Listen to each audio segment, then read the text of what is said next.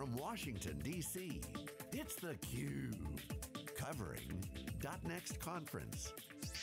Brought to you by Nutanix. Welcome back to DC, everybody. This is the Nutanix .next conference, hashtag NextConf. And this is theCUBE, the leader in live tech coverage. We go out to the events, we extract the signal from the noise. My name is Dave Vellante, and I'm here with my co-host, Stu Miniman. Dr. Arthur Langer is here. He's a professor at Columbia University and a CUBE alum. Good to see you. Thanks very much for Great coming on. Great to be back. Appreciate your time. So, interesting conversations going on at, at .next. People talking about cloud, and you hear a lot about virtualization and infrastructure. We're going to up-level it a bit. You're giving a talk, you're hosting a panel today, and you're also giving a talk on strategic IT, using IT as a competitive weapon you know, it wasn't that long ago where people were saying, does IT matter? we obviously know it matters. What's your research showing? What is your activity demonstrating about IT and how is it a strategic initiative?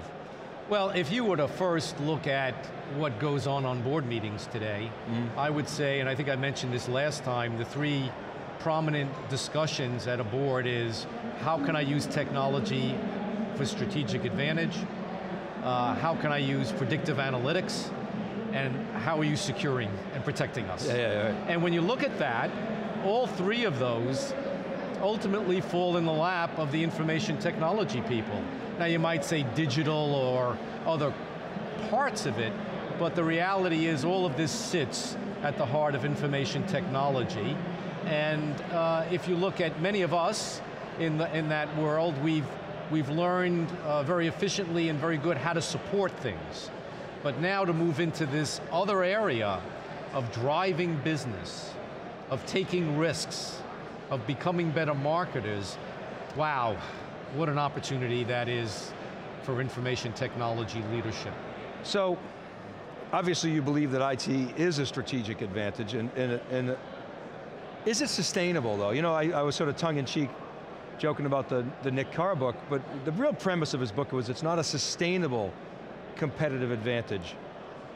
Is that true in your view? I don't, I don't believe that at all. I live and die by you know, that old uh, economics curve called the S-curve, in which you evaluate where your product life is going to be. Right. I think if you go back and you look at the industrial revolution, we are very early, I think that uh, the changes, the acceleration of changes brought on by technological innovations will continue to haunt uh, haunt businesses and provide these opportunities well past our life. How's that? So if anybody thinks that this is a passing fad, my feeling is they're delusional. We're just warming up. So it can be a sustainable competitive advantage, but you have to jump S-curves and be willing to jump S-curves at the right time? Is that a fair Yeah, the inference? way I would say it to you, the S-curve is shrinking. So you oh, have less time to enjoy your victories.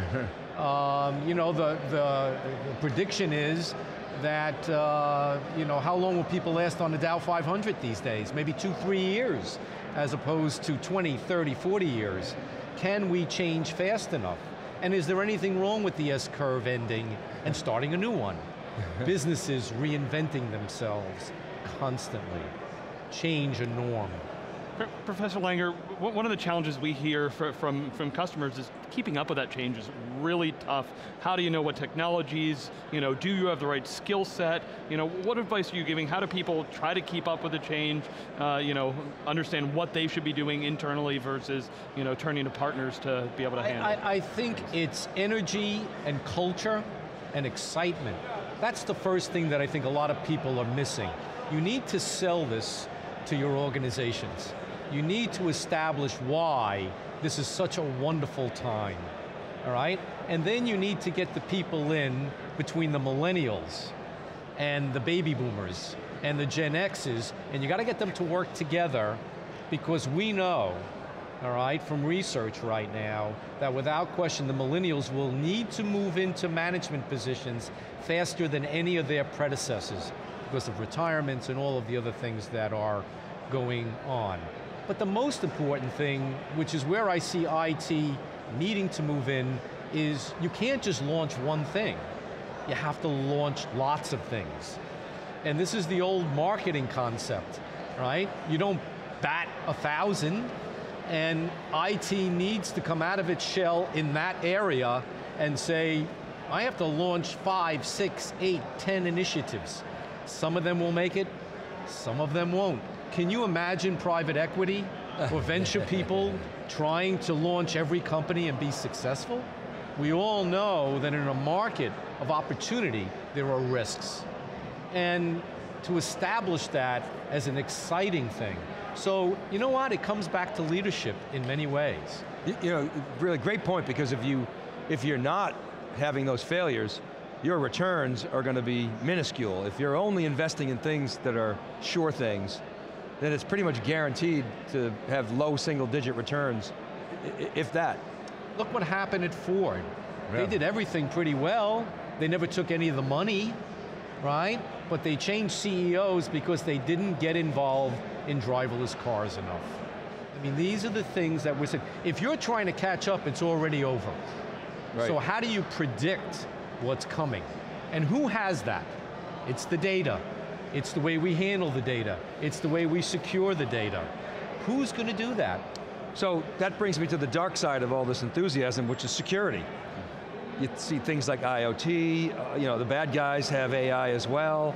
Um, thoughts on security, discussions that are going on in the boardroom, what's how CIO should be thinking about communicating to the board regarding security? I've, I've done a lot of work in this area, and whether that falls into the CISO, the Chief Information Security Officer, and where they report, but the bottom line is how are they briefing their boards?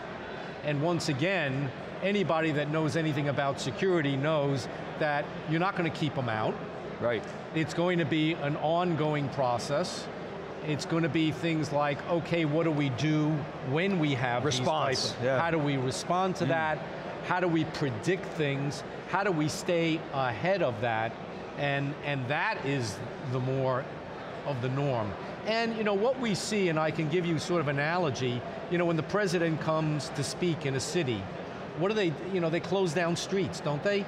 They, they create the unpredictability.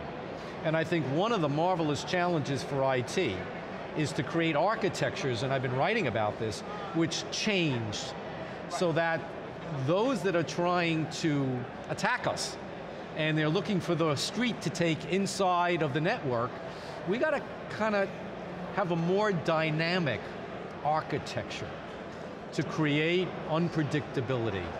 So these are all of the things that come into strategy, language, how to educate our boards, how to prepare the next generation of those board members, and where will the technology people sit in those processes. Yeah. We, have we've, we've had the chance to interview some older companies, companies 75, 150 years old, that are trying to become software companies, and they're worried about you know, the Airbnbs of the world, you know, disrupting what they're doing. How do you see the, the older companies, you know, keeping pace and yeah. trying to keep up with, you know, some, some of these sure. young software You know, how do you companies? move 280,000 people at a major bank, for yeah. example? How do you do that? And I think there's several things that people are trying. Uh, one is investing in startups with options to obtain them and purchase them. The other is to create for lack of a better word, labs. Uh, parts of the company that are not as controlled or part of the predominant culture, which as we know historically will hold back the company because they will just typically try to protect the domain that has worked for them so well.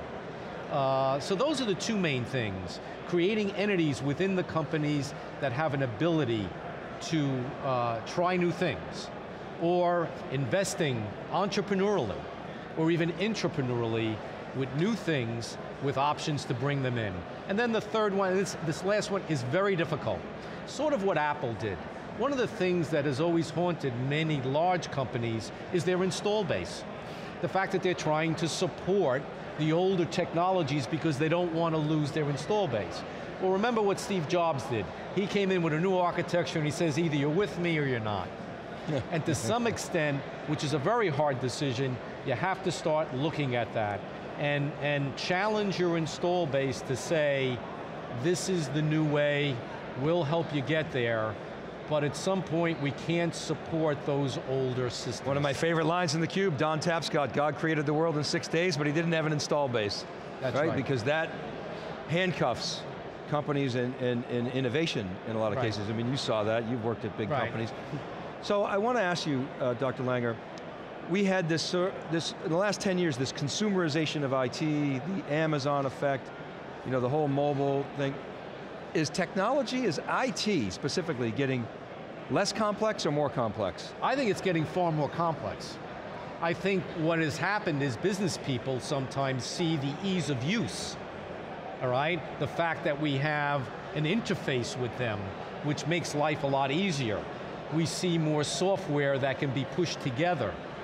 But be careful. We have found out with cybersecurity problems how extraordinarily complicated this world is. With that power comes complexities, blockchain, other things that are coming. Um, it's, it's a powerful world, but it's a complicated one, and it's not one where you want amateurs running the back end of your businesses. Okay, so let's talk about the role of those guys running. We've talked about a lot about data. We've seen the emergence of the chief data officer, particularly in regulated industries, but increasingly in non-regulated businesses. Who should be running the technology show? Is it, a, it a business person? Is it a technologist? Is it some kind of unicorn blend of those? I, I just don't think, from what we've seen by trying marketing people, by trying business people, that they can really ultimately grasp the significance of the technical aspects of this. It's almost like asking someone who's not a doctor to run a hospital. You know, I know theoretically you could possibly do that, but think about that. So you need that technology. I'm not caught up on the titles, but I am concerned, and I've written an article in the Wall Street Journal a couple of years ago, that there are just too many C-level people floating around owning this thing. And I think whether you call it the chief technologist, or the executive technical person, or the, the, the chief automation individual, that all those people have to be talking to each other and have to lead up to someone who's not only understanding the strategy, but really understands the back end of keeping the lights on mm-hmm. and the security and everything else. The way I've always said it, the IT people have the hardest job in the world. They're fighting a two-front war mm-hmm. because both of those don't necessarily mesh nicely together. Tell me another area of an organization that is a driver and a supporter at the same time. You look at HR, they're a supporter. You look at marketing, they're a driver. So the complexities of this are not just who you are, but what you're doing at any moment in time. Mm-hmm. So you could have a support person that's doing something, but at one moment in, in that person's function could be doing a driving, risk-taking responsibility. so what are some of the projects you're, you're working on now? What's exciting you? Well, uh, the whole idea of, of how to drive that strategy, how to take risks, the digital disruption era is a tremendous opportunity. This is our day for the, because most companies are not really clear what to do. Socially, I'm looking very closely at smart cities. This is another secret wave of things that are happening. How are cities going to function? Within five, seven years, they're predicting that 75% of the world's population will live in major cities, and you won't have to work in a city and live there. You could live somewhere else. So cities will compete. And it's all about the data and automation and how do organizations get closer with their governments because our governments can't afford to implement these things. Hmm. Very interesting stuff. Not to mention the issues of the socially excluded and underserved populations in those cities. And then finally, how does this mesh with cyber, risk, all right? And how does that come together to the promotion of that role in organizations? Just a few things, and then way a little bit behind is, of course, blockchain. Yeah, yeah. How is that going to affect the world that we live in? Yeah. Well, just curious, your thoughts on the future of jobs. You know, look about what automation's happening, kind of the hollowing out of the middle class, uh, you know, kind of the opportunities and risks there. I think it has to do with a world of what I call supply chain.